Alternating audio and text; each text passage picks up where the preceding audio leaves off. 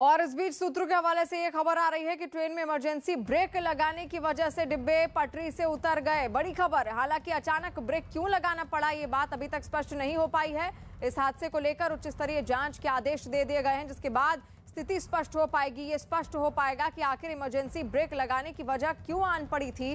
तो इस वक्त की बड़ी खबर आप देख रहे हैं, सूत्रों से हवाले से एक खबर सामने आ रही है, जहाँ पर इमरजेंसी ब्रेक लगाया गया था, जिसके बाद पूरी की पूरी रेल जो है, वो पटरी से बेपटरी हो जाती है और कई डिब्बे उसके पलट जाते हैं, जिसकी वजह से बड़ा हादसा हो जाता है। बयालीस लोग इस पूरे हादसे में घायल हुए हैं।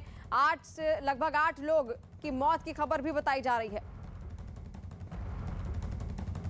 वहीं हादसे की खबर मिलते ही पीएम मोदी ने रेल मंत्री से बात भी की और इस बारे में प्रधानमंत्री ने ट्वीट किया। उन्होंने लिखा, रेल मंत्री अश्विनी वैष्णव से बात की और पश्चिम बंगाल में ट्रेन दुर्घटना की स्थिति की जानकारी ली। मेरी संवेदनाएँ शोक संतप्त परिवारों के साथ हैं। घायल हुए लोग जल्दी स्वस्थ हो जाएँ।